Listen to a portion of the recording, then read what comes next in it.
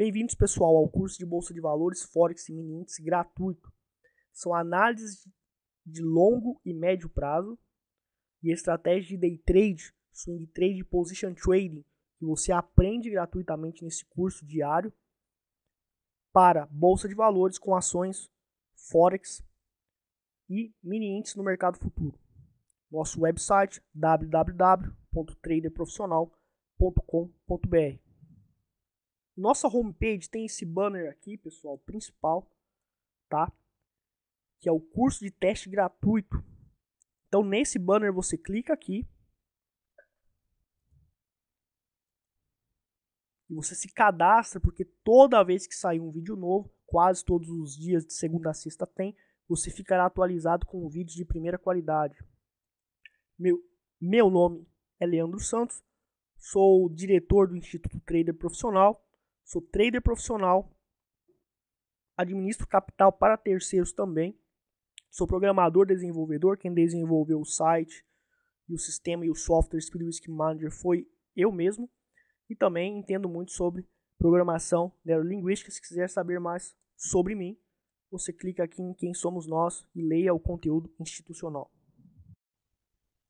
Bom, pessoal, hoje é dia 16 de novembro, setembro, aliás, de 2014. Vamos estar fazendo uma análise do índice Bovespa para saber qual é a situação do índice. Bom, em primeiro lugar, já foi dito né, que nesse ponto o Ibovespa tinha assumido uma força significativa ao mesmo tempo ele houve um, re, houve um recuo significativo nele que descaracterizou essa força. Então, o mercado pode continuar com a sua força ou pode simplesmente é, eliminar essa condição atual. Pode mudar a força dele para outra. Então, tudo pode acontecer no mercado a qualquer momento. Então, você tem que estar constantemente monitorando ele. E é por isso que eu nunca vou fazer previsão aqui que o mercado vai a tal ponto e é isso e acabou. Não. É, o operador acompanha o mercado e vai seguindo o, as probabilidades que o mercado vão apresentando em tempos atuais, no momento atual. E o Ibovespa agora ele, ele indicou uma fraqueza significativa, houve uma correção forte e aqui fez um arame de fundo próximo da média móvel, que é o nosso indicador, chamado Price Trend Line, porque é uma média móvel especial. E no caso, está é, tá um pouco longe da Price Trend Line. Então, isso caracteriza fora da nossa estratégia operacional. Então, não pode entrar nessa condição, porque está fora da estratégia operacional ou está dentro da estratégia e operamos, e se não está, vamos ficar de mãos atadas sem operar, porque é uma questão de disciplina, tá? E como houve esse rompimento e esse arame de fundo, isso caracteriza uma possibilidade de teste desse topo agora. E lembre-se que essas linhas do fractal prophecy que envolve nossa técnica são cálculos específicos que é feito no gráfico, não é baseado em topos e fundos, e quando rompe uma linha, tende a buscar a próxima. Se vai de cima para baixo, tende a buscar a linha de baixo. Se vai de, de baixo para cima ao rompimento, vai buscar a linha de cima. Isso é um movimento estatístico que o preço faz, é tanto que o preço ele chegou até esse ponto. Tá? Só que ele já rompeu aqui para cima é, essa linha novamente. Então agora o Ibovespa de novo começou a apresentar uma pressão de compra. Tá? Então, você pode ver que no, durante o andamento do, do mercado, é, ele muda.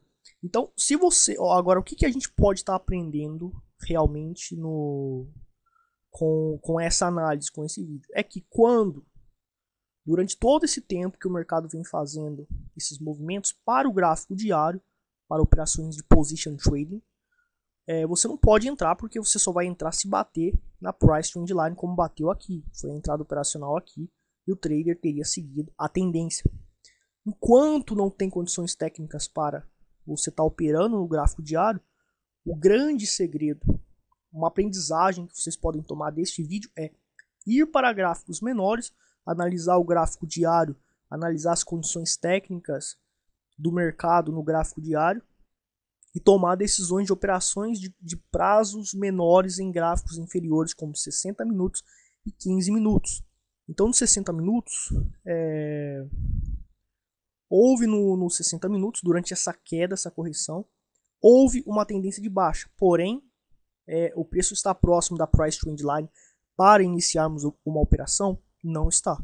Então não posso operar nos 60 minutos, mas a pressão está de venda. O gráfico diário é, indicava realmente uma correção pelos padrões. Primeiro que foi, foi feita uma onda significativa de alta. Tudo que sobe vai cair uma hora.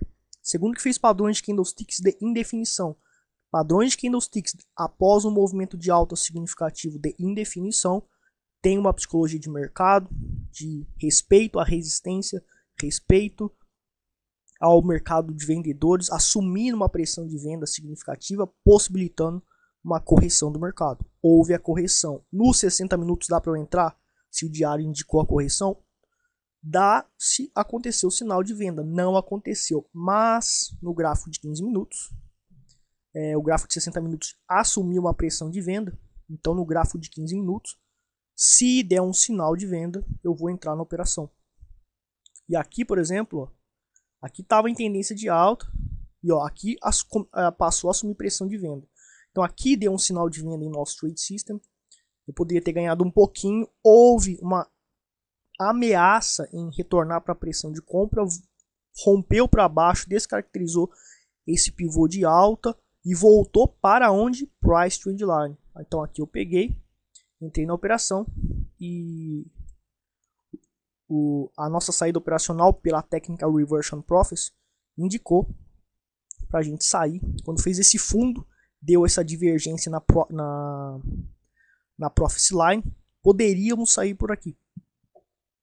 Então a nossa estratégia indicou para sair aqui, dando um lucro de 4,20% no 15 minutos, com um risco de 0,50%. Isso considerando a oscilação. Mas se for considerar nosso manejo de risco por capital total, existe um cálculo mais complexo que não dá para explicar aqui só no curso mesmo que tem todo este aparato de aprendizagem. Mas vocês entenderam como que funciona é, a, a análise do mercado e as oportunidades que o trader pode estar assumindo? Porque se você é um trader de gráfico diário e você quer se rentabilizar, você pode fazer operações para gráfico de 15 minutos e 60 minutos. Com base no que o gráfico diário está dizendo, você pode ir para gráficos menores operar, porque são os gráficos menores que vão, vão te dar certas oportunidades.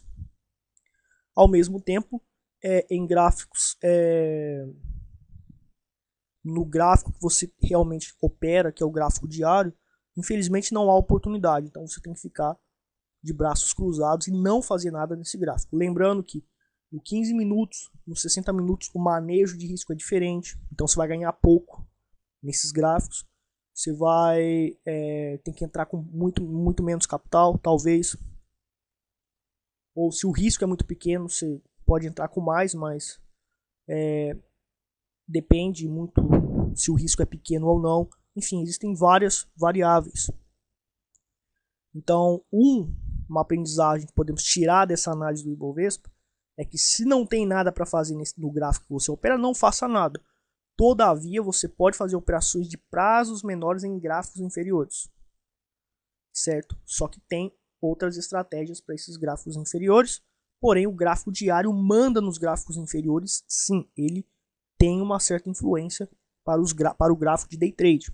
Ele é um gráfico importante. Os 60 minutos é mais importante ainda se você quer operar nos 5 minutos.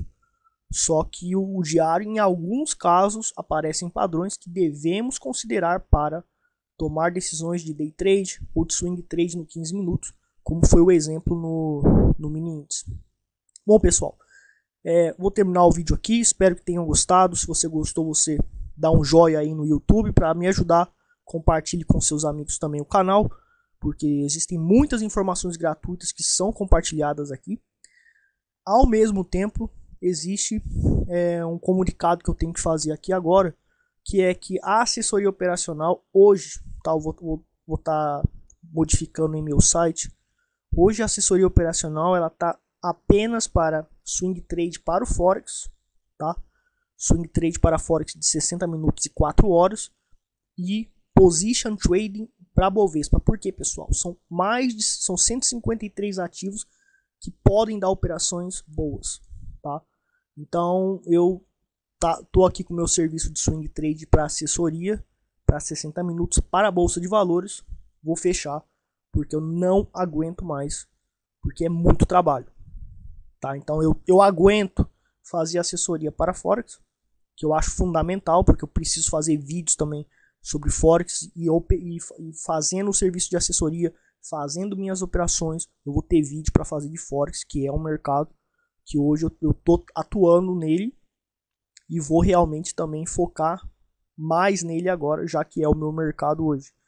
A bolsa eu já operei, mas hoje eu estou mais como consultor para bolsa e também para treinamentos para bolsa devido ao conteúdo e experiência que eu tenho.